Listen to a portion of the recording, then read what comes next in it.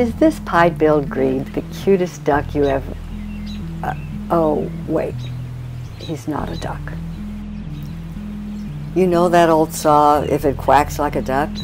Well, he doesn't quack like a duck, or walk like one, and he doesn't have webbed feet. He has lobed toes. Think of your earlobe and then imagine something that fleshy, only weirder looking, on his toes.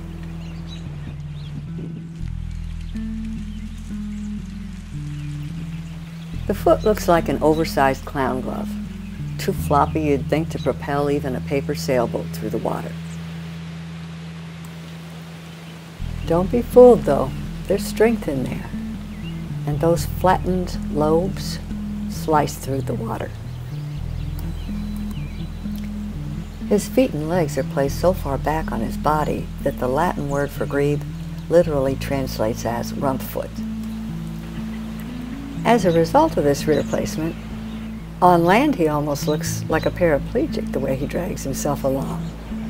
So he seldom goes on land.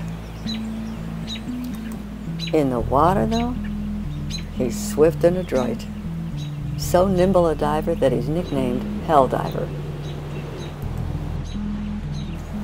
And in addition to his diving, he has this nifty trick for avoiding predators he just sinks out of sight. He does it by expelling air from between his feathers and from air sacs. Then he swims underwater to some reeds and effectively hides. He's a very secretive little bird, but aggressive when he's chasing fish. Those legs on the back of his body can swivel every which way but loose, so that underwater he zigs when the fish does and zags fast enough to snag it. But this maneuverability comes at a cost. While a mallard, for instance, can practically hop straight into the air like a helicopter, a grebe has a harder time lifting off. He needs a long runway. But it's a fair trade-off.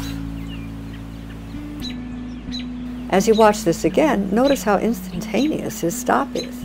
That's the kind of control those feet give him in the water. One second he's at breakneck speed, the next second, it's as if that flight never happened.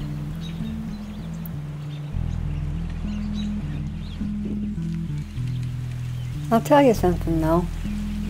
He doesn't give a rat's patootie whether you admire his prowess in the water or not. As far as he's concerned, humans are just something to avoid.